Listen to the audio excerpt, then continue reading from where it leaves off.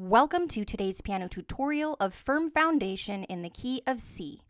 If you like this video, make sure to hit that like button and subscribe. And if you want to learn the easiest and most effective way to play your favorite songs on piano in any key with chords, you can now check out my simplified piano course. In this course, you'll learn my simplified method to playing piano and learn the best techniques on how to sound like a pro. You'll also discover how to get song sheets for free without needing to read any notes on a staff or learn endless scales or drills. Learning piano just got a whole lot easier, faster, and fun. So, if you want to learn more or would like to check out the other courses available that are included with your subscription for free, head on over to my website in the description box below and get started learning today. We're going to start by learning four basic chords, which are F major, which I'll be playing below middle C, starting with F, A, and C, F major, followed up one position for G major, which consists of G, B, and D, G major, and then move up one more position for A minor, which consists of A, C, and E, A minor. So again, that's F major, G major, and A minor. And now our last chord is C major, which consists of the three notes C, E, and G. But if you guys know me, instead of having that G on the top, what we're going to do is put it down to the bottom. This becomes C major in second inversion and is right next to our other chords, so there's no need to be making any big jumps.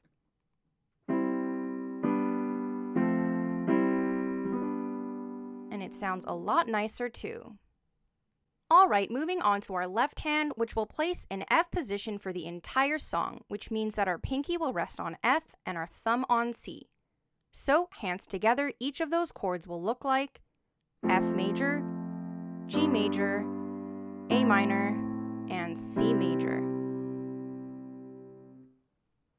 And for our last chord we'll be looking at is a slash chord, which is C slash E, which simply means that we're going to play a C major chord in the right hand with an E in the bass, which we'll play with our pinky. So think of that as a C major over E in the bass chord. And it'll sound like... By putting that E, which is the third note in the key of C in the bass, it adds a lot of texture to our sound. So again, when you see that C slash E chord, just know to play a C major chord in the right hand with an E in the bass. This is optional, so if you don't want to play that, you can still play a C major chord in the right hand with a C in the bass, but with a little bit of practice, it'll make a huge difference in your sound, so I hope you can learn it. Alright, now let's look at our chord progression for verse number one, which is exactly the same for all the other verses starting with C major for four counts, then A minor and G major for two counts, and then that repeats. Then we have F major for two counts, and then our C slash E slash chord for two counts, or if you don't want to do that, just play a regular C chord, and then A minor and G major for two counts, and that repeats. Let's try that nice and slow from the beginning of our verse 1 with C major for just the right hand. Ready? C, 2, 3, 4, A minor, 2, down to G, 2, C, 2, 3, 4, A minor, 2, G, 2, down to F, 2, C slash E, 2, A minor, 2, G, 2, again, F, 2, C, 2, A minor, 2, G, 2. Now, notice from C major to A minor, all we have to do is move our thumb up by one. C major, A minor. Again, C major, moving up the thumb, A minor. And from G major to C major, the thumb stays exactly the same. G major, C major. Again, G major, thumb stays the same, C major. Great, now let's try that hands together. And for rhythm, what we'll do is play both hands together on the first beat of each chord, and then repeat the right hand on each count. You can also alternate between the right and the left hand for some added momentum. And if you'd like to hear what that sounds like, make sure to click the video in the description box below for part two of the play along video so you can hear how that sounds and feel free to play along with me. All right, now let's try that hands together from the beginning of our verse with C major for four counts, nice and slow. Ready? C,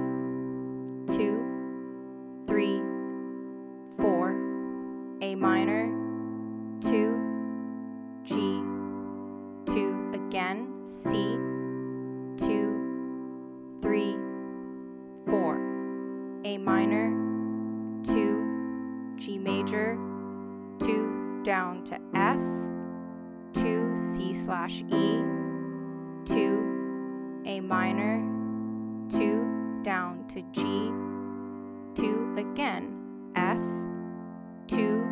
C slash E, 2 A minor, 2 G, 2. Alright, moving on to our half chorus, all we have to do is play C major for 8 counts. Or for an added effect, what I like to do is play C major for 4 counts and then add a C sus 4 for 4 counts. When you see C sus 4, that simply means we'll just be adding an F in the right hand. So it'll look like C major, and then C sus 4 will be adding that pinky up for F. C major, C sus 4. Essentially what we're doing is sustaining that C major chord and adding the fourth of C, which is F. 1, 2, 3, 4. So hands together from the beginning of our half chorus, it'll look like C, moving up the pinky, two, three, four. That repeats, C, two, three, four. C sus 4.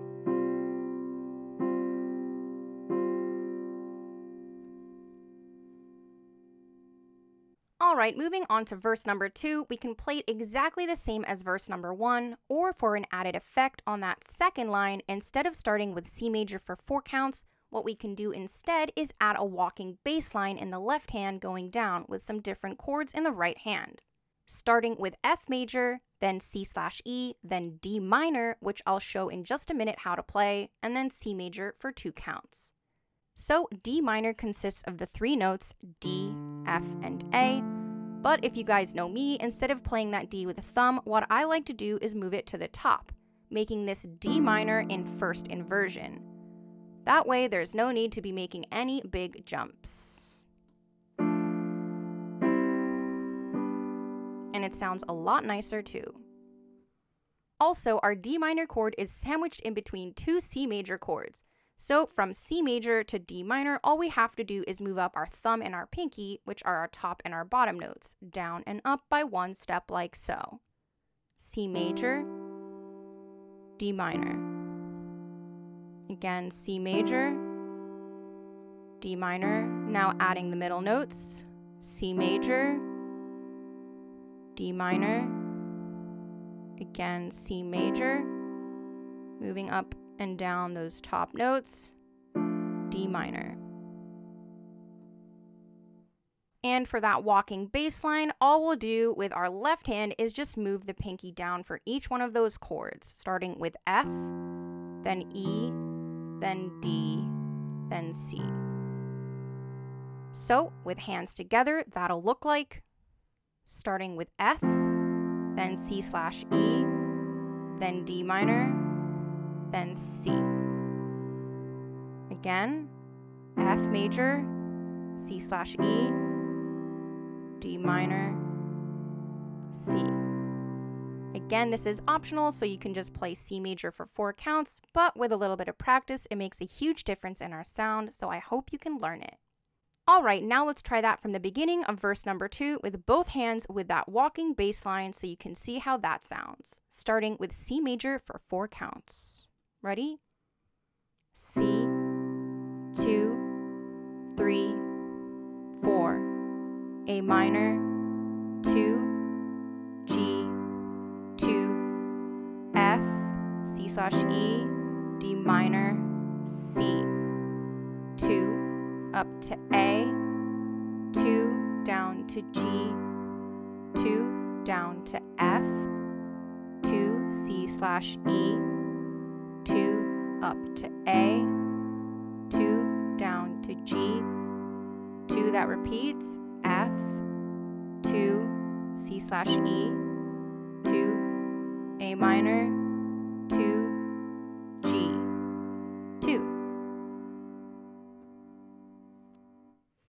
From here, we'll move on to our full chorus, which starts with C major for four counts, then C sus4 for four counts, and then our second line will play in A minor and G major for only one count, and then F major for two counts, and that repeats. Let's play that with hands together from the beginning of our full chorus with C major for four counts. Ready? C, two, three, four, C sus four, two, three, four, A minor, G, again, A minor, G, F, two. Now for a fancier and quicker chord progression, what I like to do, which is especially good for the repeat of the chorus as our second chorus, is instead of playing that A minor G to F in that second and third line, is instead play A minor, then G major, then C major, then E minor, and then F major for two counts. Now to make that E minor, all we'll do is play G, B, and E, making this E minor in first inversion, and it's almost exactly like our C major chord, but all we have to do is play our B with our second finger. So instead of this, which is C major, from C major to E minor, all we have to do is play our second finger on B. Notice how the bottom and the top notes are exactly the same. Again, C major, E minor. And for the left hand, we'll just play that E with the pinky like so. So, hands together from the beginning, starting from A minor to G, then C, then E minor, then F, it'll look like A minor, G, C, E minor, F, 2. Again, A minor, G, C, E minor, F, 2.